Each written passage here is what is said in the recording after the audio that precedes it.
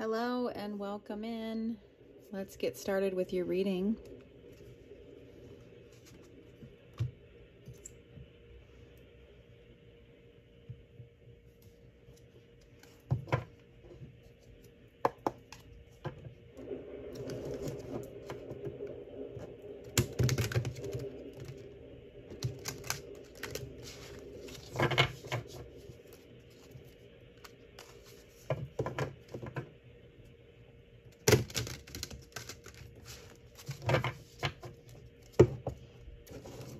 One more shuffle and we'll begin.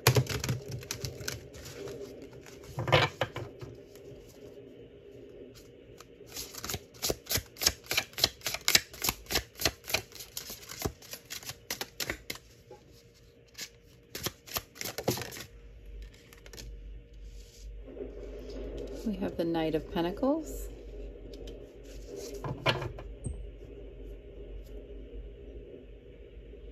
The Eight of Pentacles under the deck.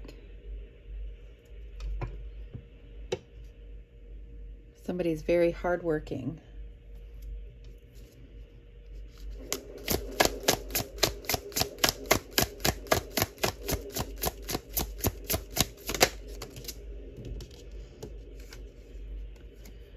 Possibly working very hard on a new idea. Um, something that brings you a lot of joy and inspiration. Um, or possibly you're working very hard, but it's not, a, and under the deck we have the Four of Cups. And this is kind of feeling blah or bored. Um, so we have the Ace of Wands that came out. That is inspiration. That is spark of life.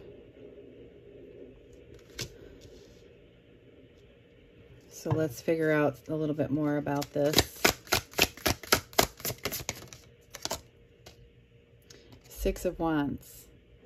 So there will be victory in this.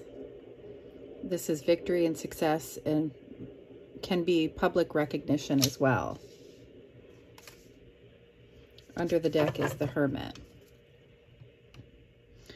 So that's kind of doing that soul searching, um, following your lantern, following your light inside you, doing that soul searching. All right, so we have your first layer of cards down. We have the Knight of Pentacles, the Ace of Wands, and the Six of Wands. Uh, somebody working very hard, being very responsible. The Knight, the Pentacles, the Knight of Pentacles. Knights are always moving. Um, the Knight is the slowest moving Knight, but he's actually very responsible and someone that you can count on. Then we have Ace of Wands. So you are being very slow and methodical and working very hard on this new idea. And this looks like it will turn out very successful. And maybe you've had to do a lot of soul searching to reach this um, to give yourself the okay to go for what inspires you possibly. So let's let's get another layer of cards here.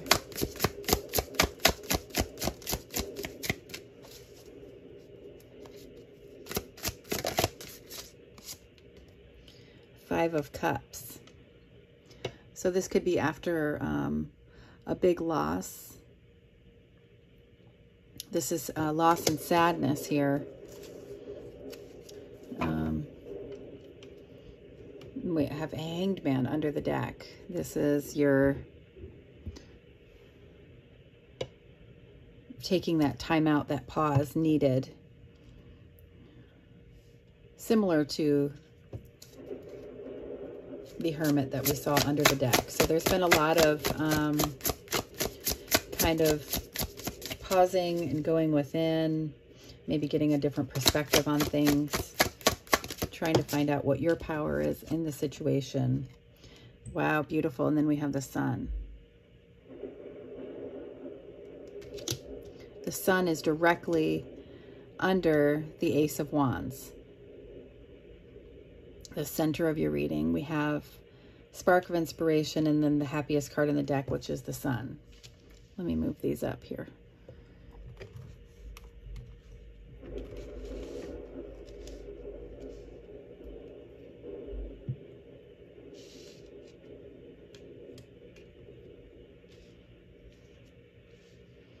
So, and under the deck from when the sun came out, we have strength.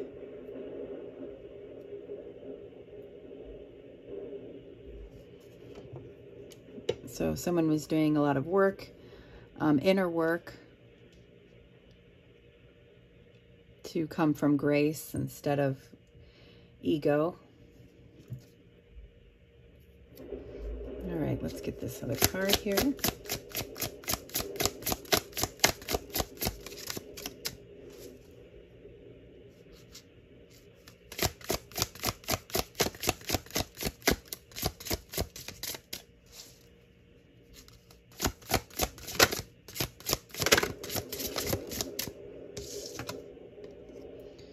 Temperance, very healing card That's tempering out the impurities, what's no longer serving you, finding that balance. We've got an umbrella of protection here. Under the deck is Two of Cups. This is a beautiful partnership. Mute, everything is very mutual. Um, I'm going to go ahead and clarify this reading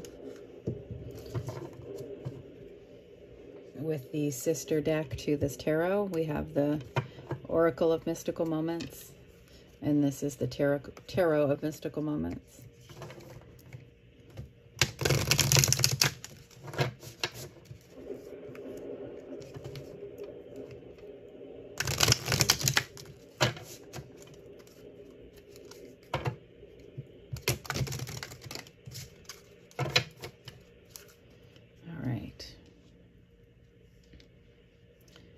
So I'm going to clarify this row, this row, and this row.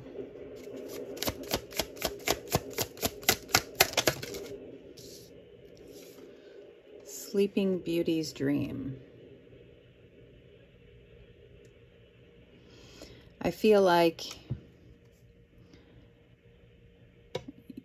your dream of what inspired you, what brought you the ultimate happiness was sleeping.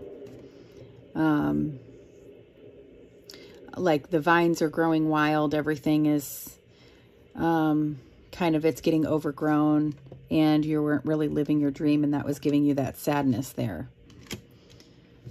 I'm going to clarify this middle row here.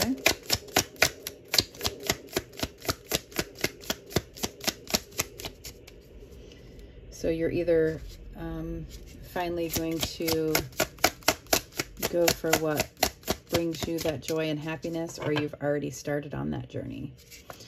Um, either way, it will bring you success and balance. Wow. and then here's the gift. So, and then we also have another umbrella plus a gift.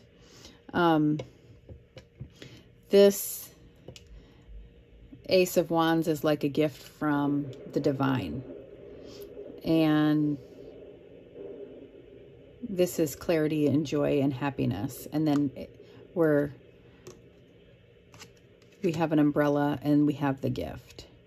So maybe this is something that, maybe there was a business gifted to you. Maybe there was, um, you know, an actual something handed over to you. Um, if not, this is the like divine timing. The universe is bringing you this gift um, because it's overdue. You've had your dreams sleeping for way too long. You were doing everything responsible here with the the Knight of Pentacles. You're you're slow moving, grounded, responsible, but your dreams are just sleeping here. And bringing a lot of emotions of sadness, um, regret, a lot of a lot there in our emotions of the the waters of our emotions there. So let's go ahead and clarify this third row.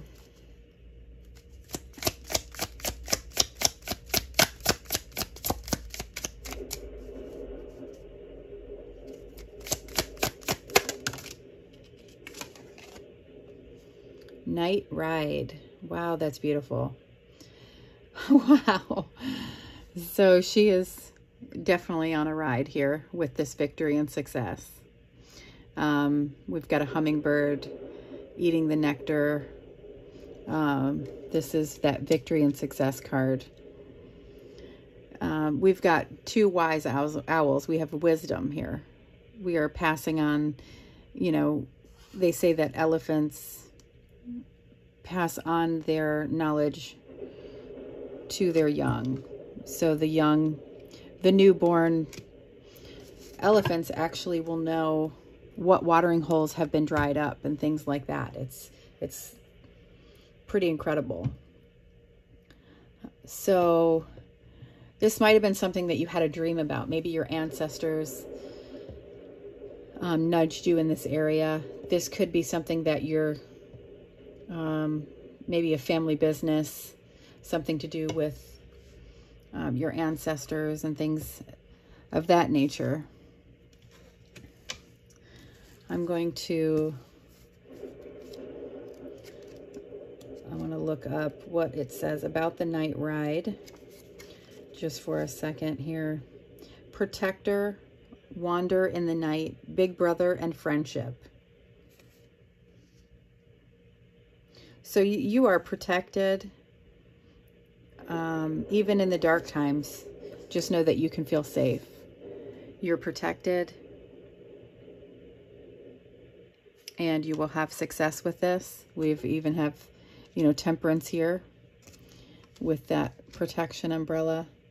I want to um, pull a healing crystal card for you, um, just for the advice for this reading.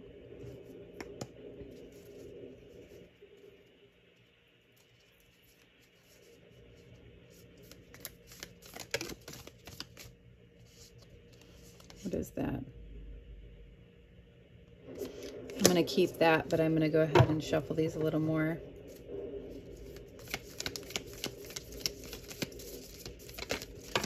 All right.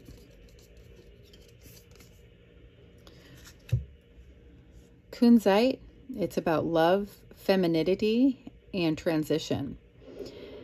As it breaks down barriers surrounding the heart, Kunzite, Kunzite um, offers unconditional love to heal lingering wounds. It helps you feel safe while being vulnerable, allowing you to express your love authentically and expansively. A highly vibrational stone. Um, its protection can be used as an energetic field, shield that surrounds your aura and protects it amongst emotional vampires, and negative influences. This stone aids in um, feminine rites of passage from puberty to becoming a mother. Kunzite supports loving your body no matter what phase of life you're in. Um, this stone is good for Taurus, Leo, Scorpio, and it is also ruled by Venus and Pluto. So this is the stone here. So I will put this here and I want to take a look at this one, the first one that came out. Um, agate. It's beautiful. So this one is st a stabilizing stone. It is used to balance, this is temperance here, balance the mind, body, and spirit, creating harmony in all areas of your life. Much like the patterns of the crystal itself, grounding and supportive. Agate helps to reveal inner truths, cleansing beneath the surface to expose your authentic self. A wonderful stone to heal resentment, agate frees you from the imprisonment of your inner anger, replacing it with safety and security. Agate takes its time vibrating at a slow and steady pace and encourages you to take as much time as you need for the matter at hand. This is good for Gemini. And we also have Mercury on this as well. And Mercury is in retrograde. Um, this one really sounded, that might be just a message for someone here. Um, this one really sounded like it went with the reading as far as um, creating the harmony and then getting it, cleansing, getting into our authentic self, kind of cleansing um, the responsibilities in a way. I mean, responsibility is good, but we also want to live our dream. You know, we don't want to just go through life um, feeling blah and not having that passion ignited and really following our dream, following our, our what makes us happy. So it sounds like you're on that path. Um, I think that I will wrap this up here. Um, it's a very beautiful reading. Thank you so much, and I will see you next time.